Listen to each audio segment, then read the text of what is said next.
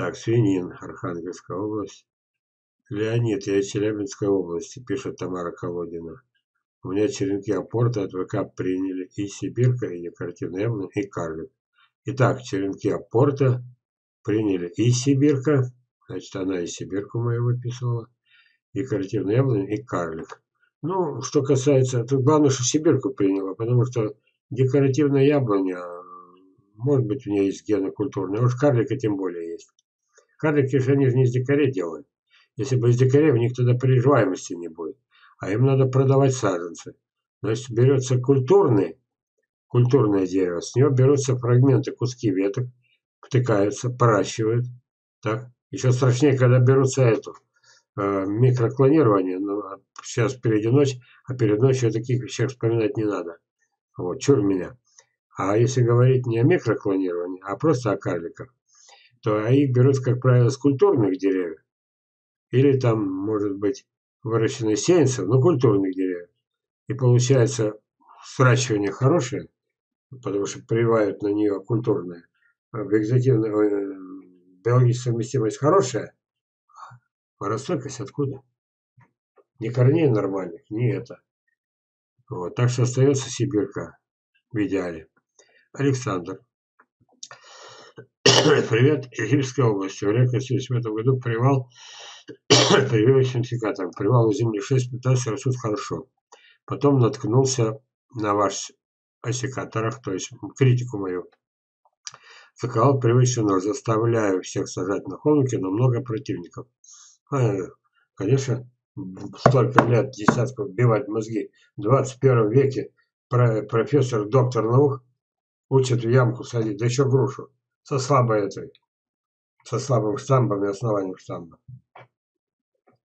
Ужас какой-то. Конечно, с трудом все идет. Так. Ну, а что ваши из растут хорошо? Погодите, у них очень толстая.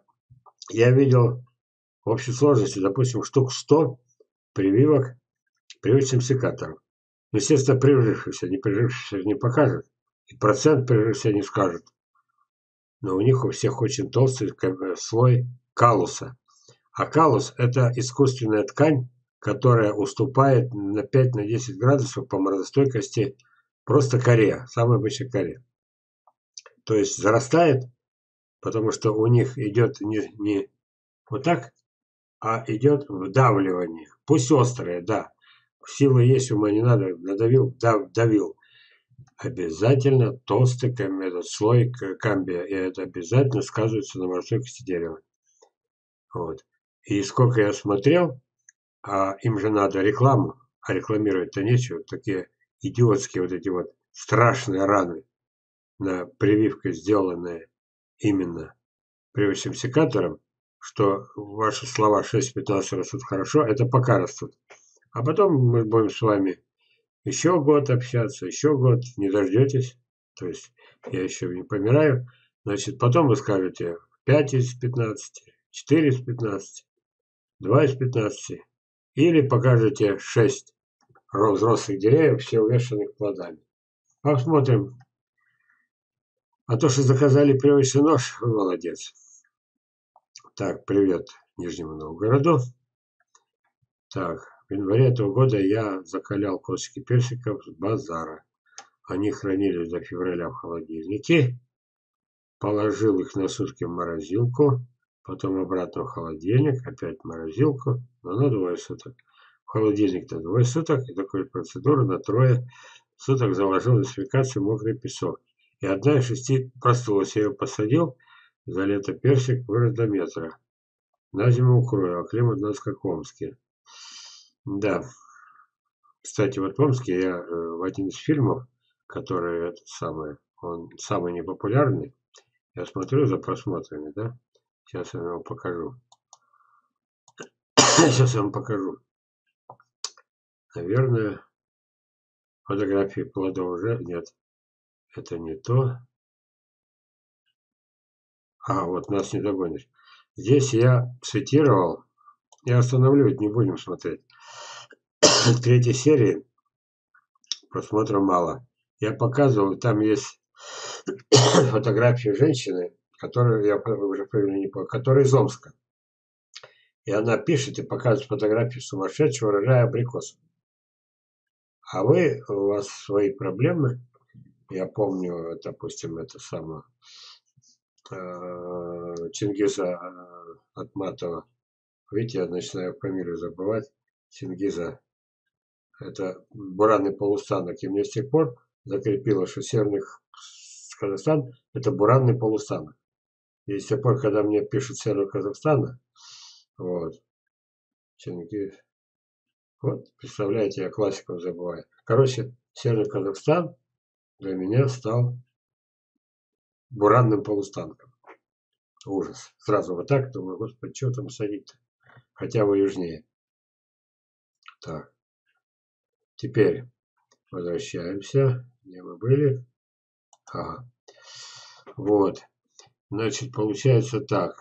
Вы сравнили себя с Омском, а в Омске живет замечательная женщина с сумасшедшим урожаем априкот. Причем ее саду лет уже было 15, на тот момент, когда отчитывалась передо мной. Сумасшедший урожай абрикосов. Так что не, а, а Омск очень перспективный город. Он тем более перспективный, друзья. Я еду, есть такое понятие, Транссибирская магистраль. Я не Чехов, который доехал до Сахалина и описывал климат западной и восточной Сибири. Западный как гнилой, восточный как здоровый. И не на Фритин Нансен. На, на, это самое, на, ну что за память это? Великих людей забываю фамилию.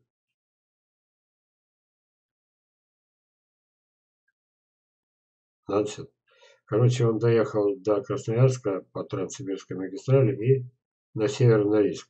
А я проехал до Москвы. И только в районе, мы ехали через пригороды Омска, ехал этот поезд, да, тихо ехал. Я разглядел, что там сады настоящие.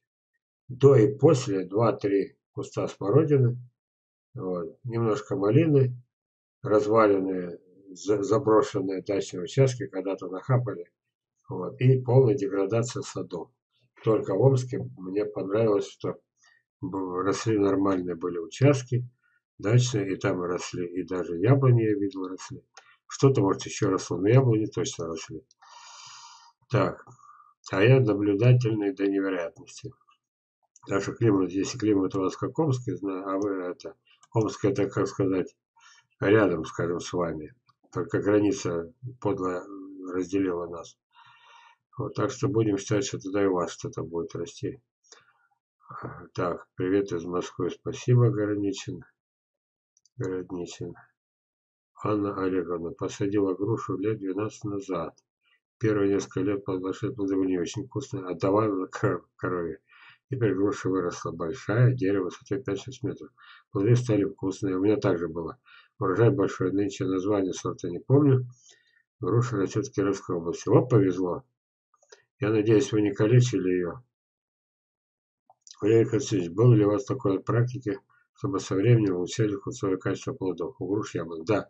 У меня груша Сеня Яковлева не успел вырубить, когда а, вместо вот таких груш несчастных, жалких, из, изувеченных, изуродованных, потом раз, выросли груши шедевры, но уже второе плодоношение. А я хотел вырубать. Раз. Это касалось и Синьякова. Вообще, в теории, практике это часто встречается.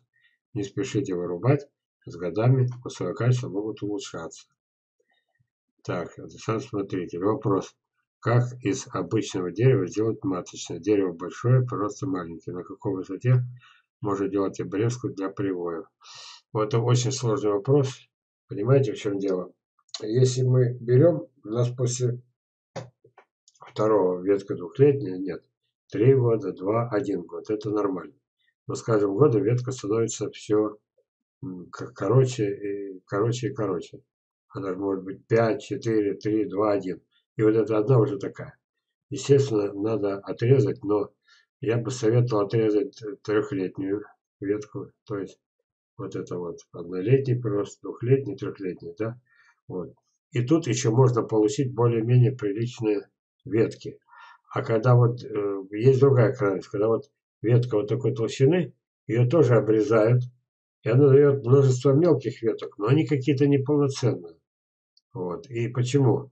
И на ветке должны быть почки нормальные. То есть почка, когда она превращается в ветку продолжения, а ее можно взять на прививку.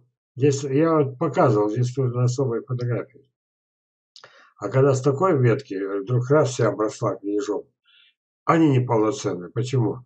Они вылезли из-под коры или они из клеток, помните, откуда взялось э, микроклонирование? Это выращивание, из клеток целых деревьев, из маленького фрагмента дерева.